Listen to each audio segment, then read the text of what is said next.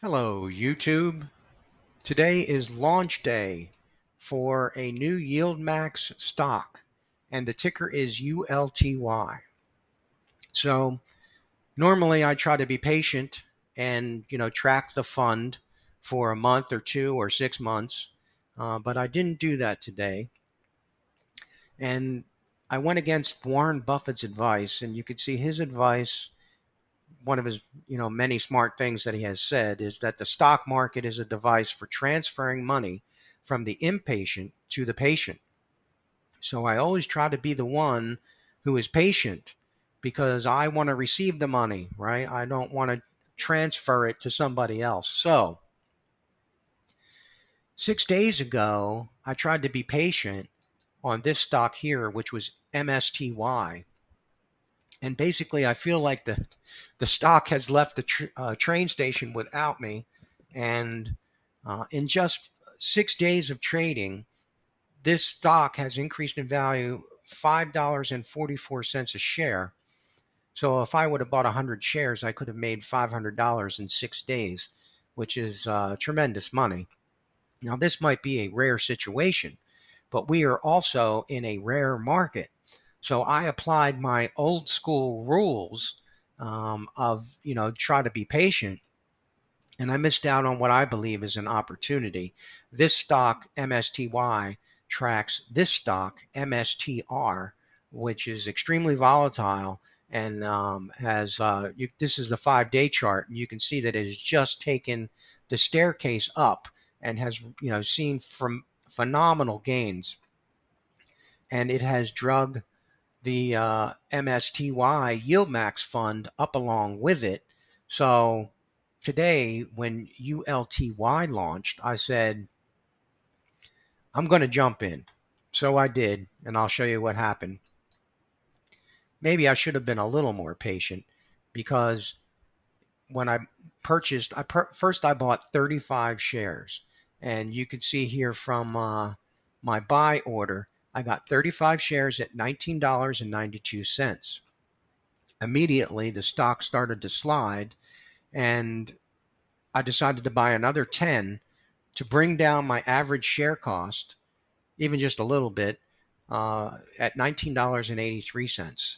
But it, it continued to slide, and just 45 minutes later, it was down to $19.41. So uh, I said, okay, I'll buy another 10. And uh, they call this dollar cost averaging into weakness. And, you know, basically it brings down my average share price.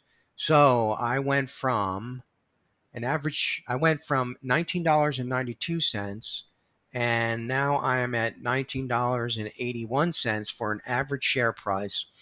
And I'm going to hold up here at 55 shares and you can see that the current price is $19.42. So let me show you why I did this. This ULTY is different than the other funds because they actually went out and purchased, um, you know, stocks and they hold these stocks and they're writing options called covered calls. Whereas the other funds, they just um, you know they uh, buy and sell puts and calls and they have a synthetic position they don't actually own the stock and i can explain that actually i did talk about that in my uh, recent video about Cony, C-O-N-Y, and I'll link it at the end, and you hopefully you'll watch that video. Explains how they normally operate. This is not how they normally operate. They went out and bought stock. Example: C3AI they purchased 2,900 shares and now they're writing 29 option contracts, covered call option contracts against that holding. Each contract is 100 shares. So basically, they put all of these shares into covered call contracts and they're going to try to earn a commission with this gamble because, you know, options is always a gamble. So it could lose money, it could win money. But because this stock, they had recently had earnings and it's in an upward trajectory, it's a pretty good bet. And it's also very volatile. And the more volatile the stock is, the higher the commission will be. Just to continue on, they also bought a thousand shares of ARM. They also had a good earnings call at the beginning of the week. They own Coinbase, which you know Bitcoin is just going crazy. And Coinbase uh, is uh, uh, going along on that Bitcoin ride, and it's also a very volatile stock, and they bought 700 shares of that. And again, they're currently um, working the covered calls already. So on day one, the stock is four hours old and they're already in there, you know, trying to make a profit on these option calls. And, you know, this is an interesting one. DWAC is uh, Truth Social, and we're, you know, we're in the middle of an election year, and then this stock has been very volatile.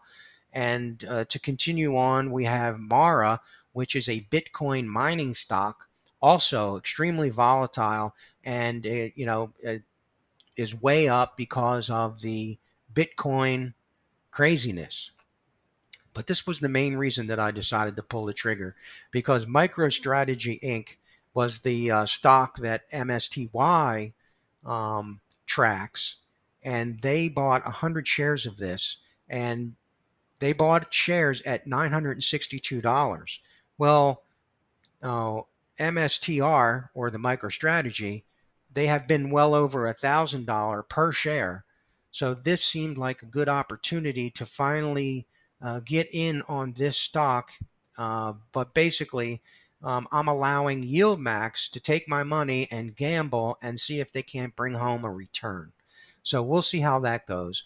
Uh, just to finish up on the ones that I highlighted, SMCI uh, I believe they have some kind of partnership with NVIDIA, um, or they're just benefiting from uh, NVIDIA's um, AI boom and the, and the craziness surrounded with NVIDIA stock.